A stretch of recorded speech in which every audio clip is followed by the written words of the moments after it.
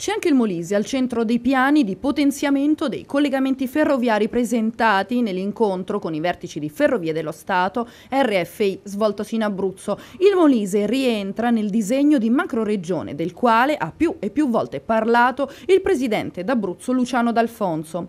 Pierpaolo Nagni viene presentato come il risolutore di uno dei nodi del trasporto più complicati per la sua regione, quello di Termoli. Ci tiene a sottolinearlo D'Alfonso che oggi chiede all'assessore l'assessore Molisano di prendere la parola e raccontare le difficoltà della sua regione. Siamo ovviamente da una parte contenti che c'è questa attenzione generale su questo quadro, dall'altra parte preoccupati dal fatto che gli investimenti ormai vanno quasi tutti al nord e da queste parti non so perché eh, il quadro si salta.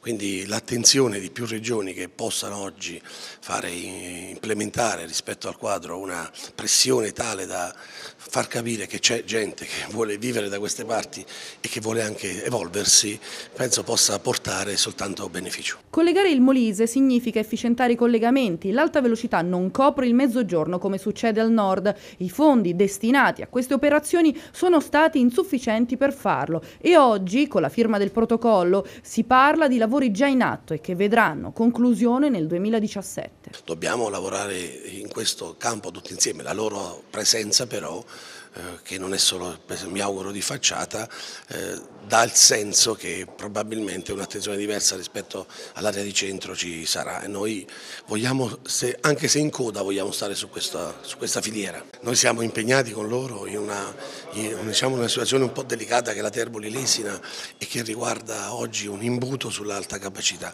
e la nostra presenza è qui anche per tranquillizzare i vertici di ferrovie sulla nostra diciamo, disponibilità a non creare problemi allo sviluppo, a condizione che Abruzzo e Molise non siano tagliati fuori dal quadro nazionale.